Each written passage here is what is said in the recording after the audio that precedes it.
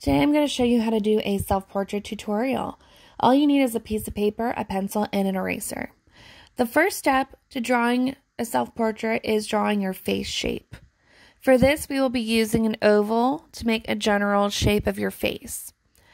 You can always um, alter it a little bit to make it look like your personal face shape, but uh, oval is a good way to go. To start out drawing an oval, first you're going to be drawing a circle. And then you'll be drawing an oval around your circle. This circle makes sure that your oval is wide enough and it's not too narrow. Now, don't draw, you know, make sure you're drawing lightly and then you can erase that circle line and any other kind of messy lines. You don't need those anymore. The next step is to be drawing our proportion lines. These are lines that are like a map. They tell us where to put your facial features on your drawing to make sure it looks accurate. First, you're going to draw a vertical and horizontal line to split up your oval. Draw lightly.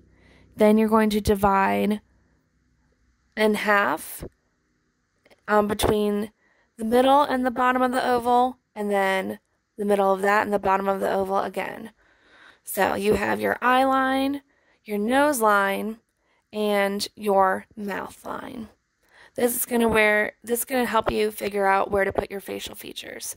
Right now, I'm using that halfway horizontal line, my eye line, to determine where to draw my eyes on my drawing. So I'm just kind of measuring it out, placing my eyes down. Now to draw an eye first, you're going to draw a circle. This is your iris, which is the colorful part of your eye. You're going to add another circle inside the pupil.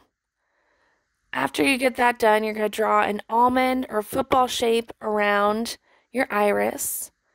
And that's a good eye shape. Add a little tiny circle. That is a tear duct. That's where your tears come out. Then you're going to draw a line going over your eye. That is the eyelid line. So that's a very simplified way to draw a basic eye. And repeat for the other side. So right now I'm using that, I'm drawing my iris, adding my little pupils in, I'm drawing my football shape around, and notice I'm doing this all on the eye line. Make sure your eyes are halfway down your face. A lot of people don't realize that, but your eyes are actually halfway down your head. And you can start to draw a line to mark where your eyebrows are going to go. Next is the nose. I'm drawing a big circle, and then I'm going to draw two little circles on either side. They should be overlapping a little bit.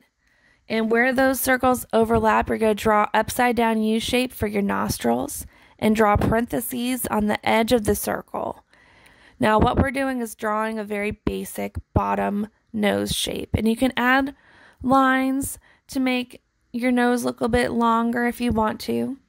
That's a very basic way to draw the bottom of the nose. And now I'm just erasing those lines, and it looks like a very basic nose. So, big circle, two smaller circles. Notice how I'm doing it on the nose line. I'm drawing this on the nose line. Then you're going to add your nostrils and parentheses. And voila, you got a nose.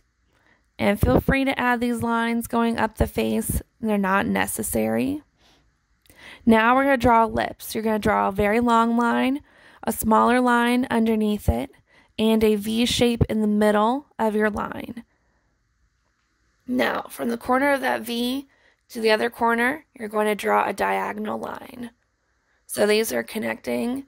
So from the V to the edge of your long line, that's making your top lip. Now I'm just going to connect that bottom shorter line to my longer line, and then you got very basic lips. Now you can always go over these this basic shape and make it look more like your actual lips because some people have bigger bottom lips, some have bigger top lips, some have pointy lips, some people have more rounded lips. So use this as a basic starting point and then just kind of change the shape. You got a basic mouth. So I'm drawing that bottom lip and then I'm going to draw the longer line and the V. on my paper, and then I am drawing my lips on my oval.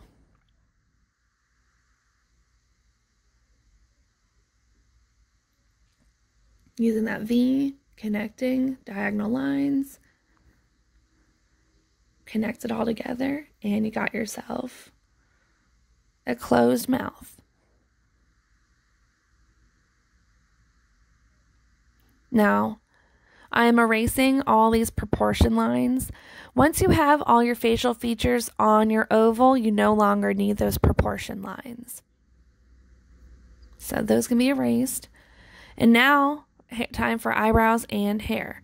For eyebrows, I like to do short little hair like strokes and just do like the general shape of your eyebrows.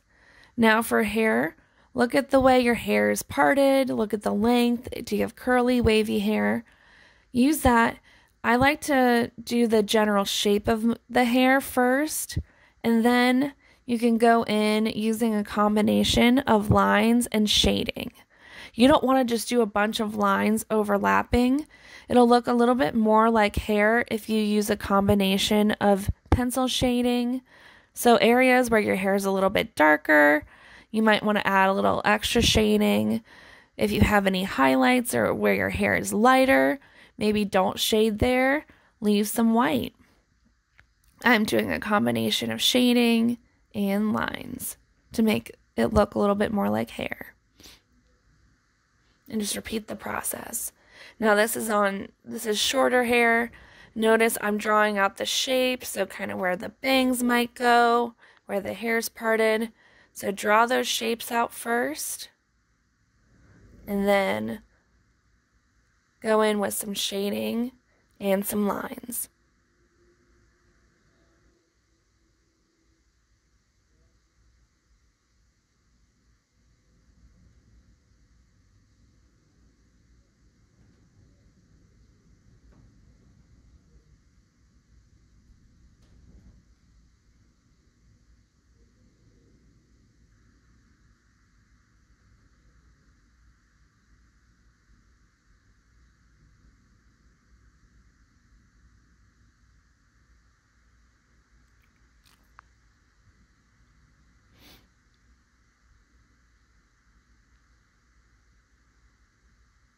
Now I am just going back and shading some of my facial features and adding more details like eyelashes, shading in my eyes.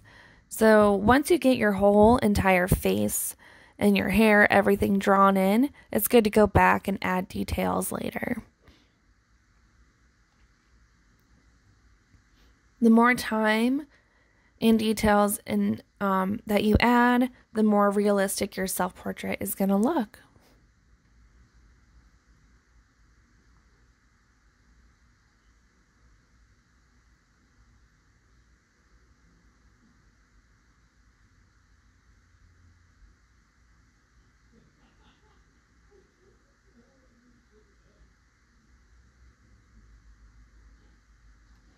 Once again, just adding more shading. You can always erase to make highlights appear. Yeah. So that's an example of a self portrait that lots and lots of time and shading. Just do your best. But yeah, shading and adding details will take your portrait a long way. So that is a basic way to draw a self portrait. Thanks for watching.